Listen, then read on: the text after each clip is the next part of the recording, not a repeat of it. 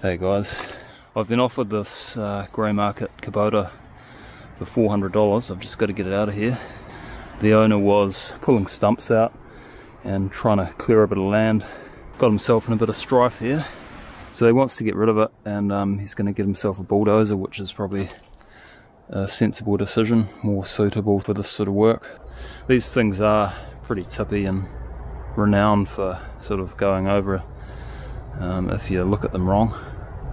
It is very similar to my little Kubota. Um, mine's L1-18, so it's always good to have a spare parts machine. Apparently it ran for about 30 seconds like that before he shut it off, so hopefully no damage. It should be alright.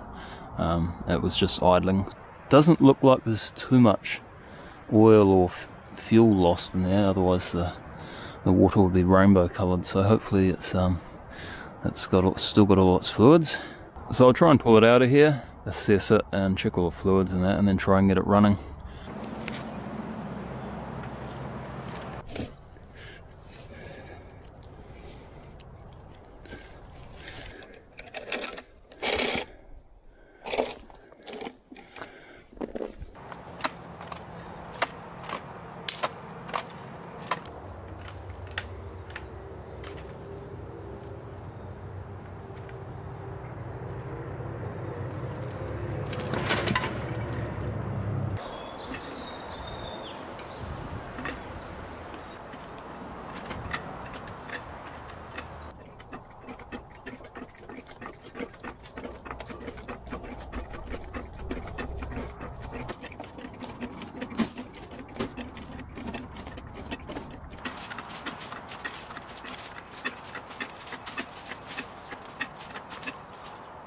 There doesn't look to be any damage. Looks like it's just sort of rested on this mudguard. And that's um, that's protected it a wee bit. But um, everything else looks okay. Uh, the radiator's a bit low. I'll have to get some coolant for that. Oh yep, plenty of oil there. Doesn't look like it's leaked any.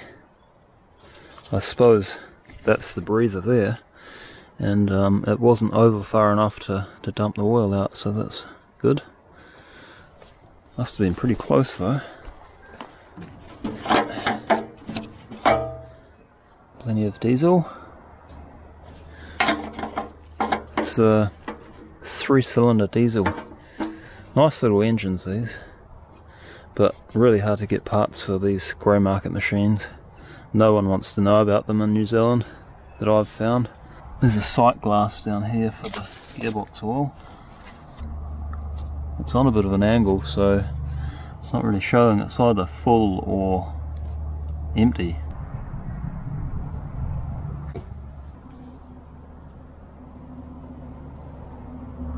Oh yep, that's got heaps in there. Looks nice and clean too.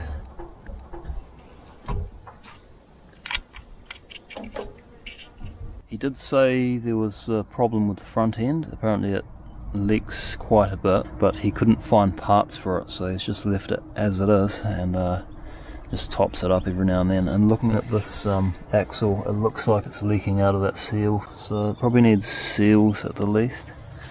Um, I'll check the oil in there. I might as well dump that out because it's probably got water in it as well because that side was fully under.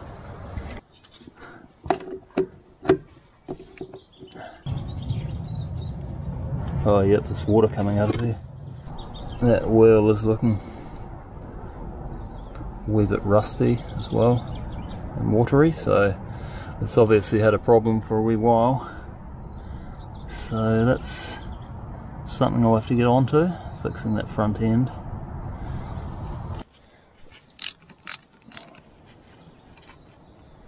Brown and rusty looking. That's not great.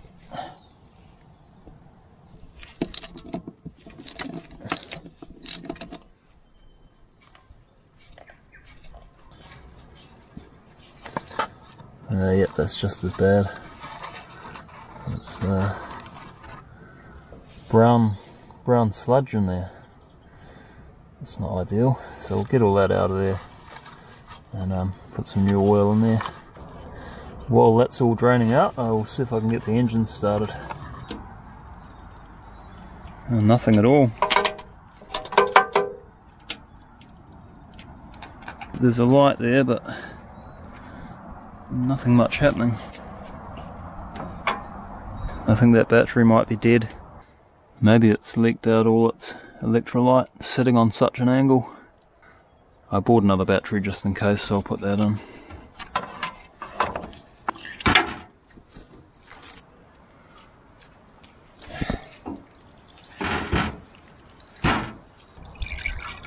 A bit of water in there. Okay, so it was almost full.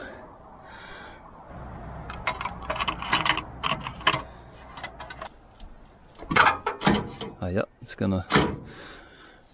I wonder if it's got any oil in the cylinders from being on such an angle. What's that? Looks like a decompression lever, maybe. Well, maybe I'll pull that out and um, try it in case it's got oil in the cylinders or something so it doesn't hydraulic itself.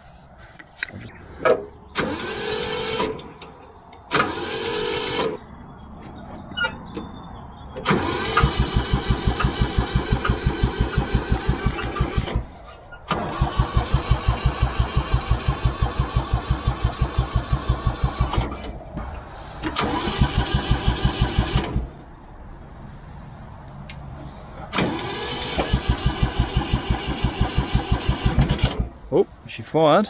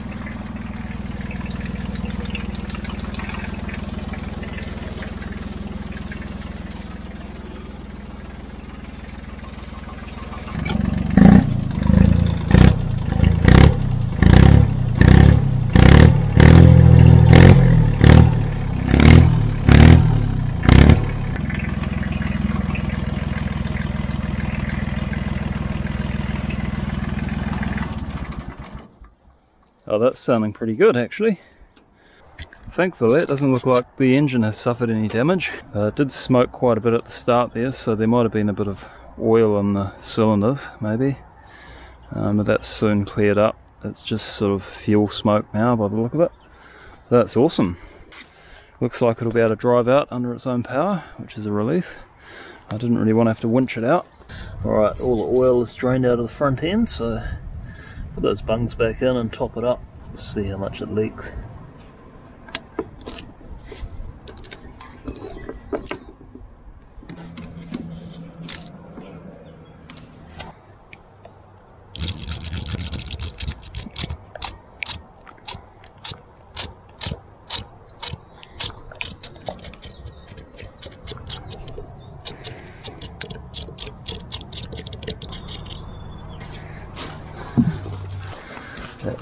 Just leaking straight out of the side. oh well, looks like I'll have to do something about that. So I'll try and get out of here. This is probably the worst bit here, there's a wee steep bit and then it goes up a hill, so we'll see how I go.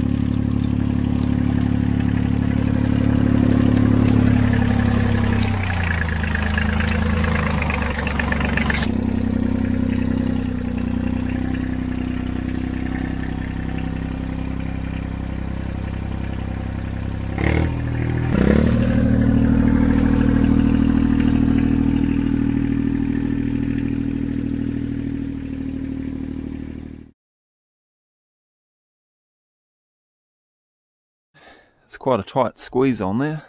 And because the ramps are so short, I had to dig holes for the back wheels to get them down a bit so that it wasn't so steep. And um, ended up just crawling it on without sitting on the tractor because I didn't trust the ramps, but got there in the end. You can see all this oil has leaked out of the front diff, so that's probably the first thing I'm going to have to do on it. Pull that apart and um, try and get some parts for it. Uh, which could be interesting. Hopefully it's just a standard seal or something, but I have a feeling it's going to be those bearings as well, because you can see how that doesn't look right, that join there. It's the bushings or bearings, I think.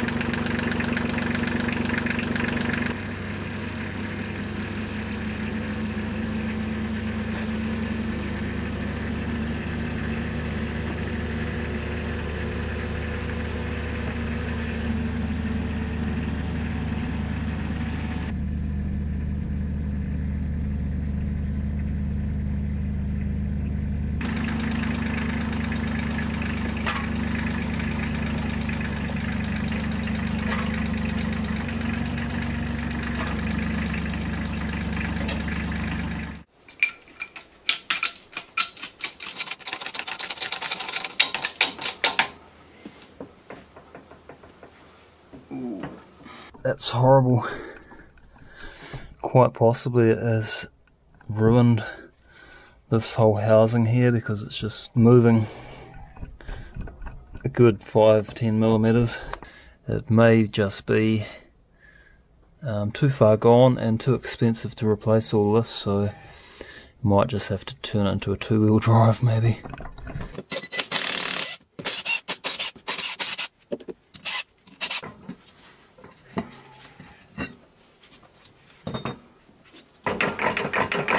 Mess. That doesn't sound healthy at all. Look at the state of that.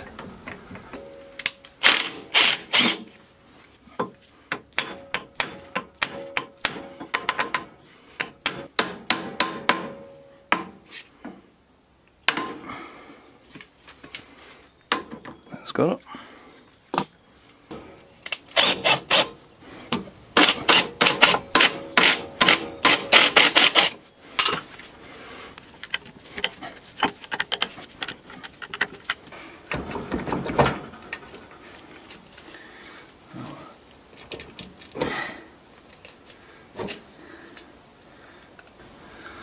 Bevel gear worn out. That's not looking great. Don't like my chances of getting a new one of those, right? She's done a bit of hard work, I'd say. You can see the pitting in that bevel gear. That sounds so bad. There's no teeth missing by the look of it. They're just, they are a wee bit worn out though. You can see that circle up there, it's sort of only half on, so She's been slopping around there for a while.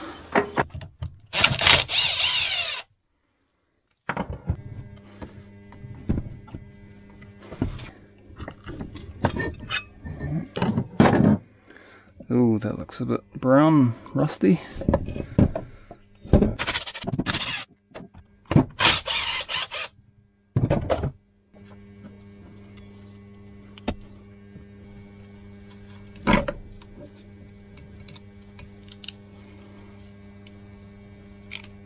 So that bearing is pretty rumbly as well, so I'll replace that.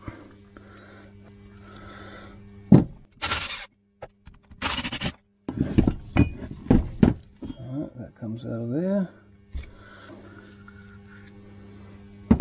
Oh, what is going on there? Oh yeah, see the bearings are just totally shagged in there, top and bottom. Hopefully it's just a matter of replacing those.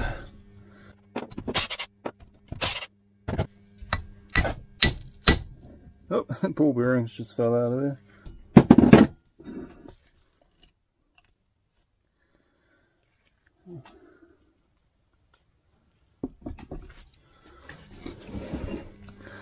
Uh, yep, that's what's left of the bearings. The last of them just fell out of there.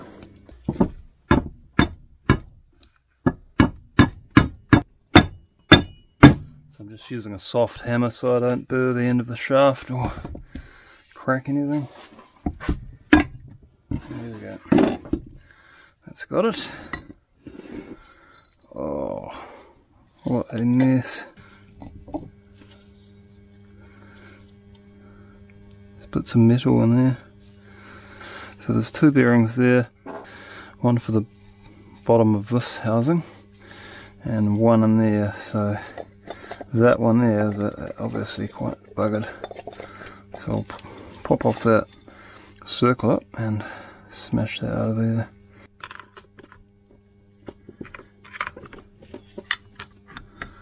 Um, there it goes. One circlip. So I should just be able to pop that shaft off there now. Um, not too worried about it's quite tight so I'll try and press that out of there.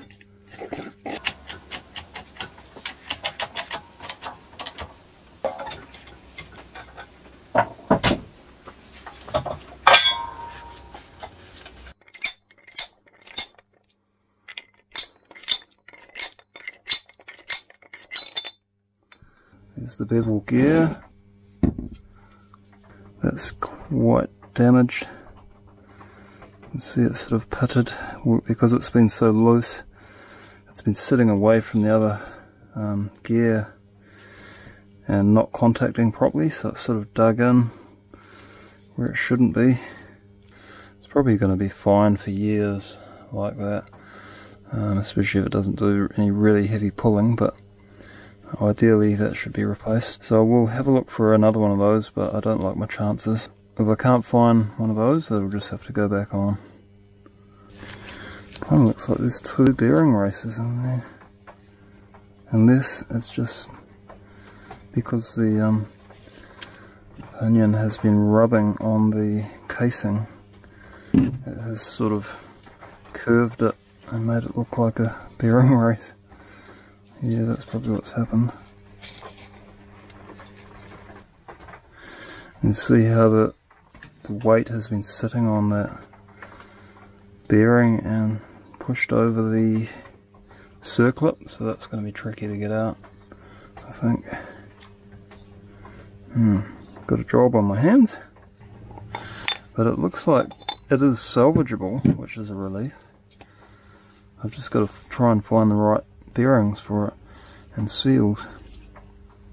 I'll go and have a look for a parts manual and do some investigating. So we'll leave it there for now and um, come back to it another time when I've got some parts. Thanks for watching guys. Catch you next time.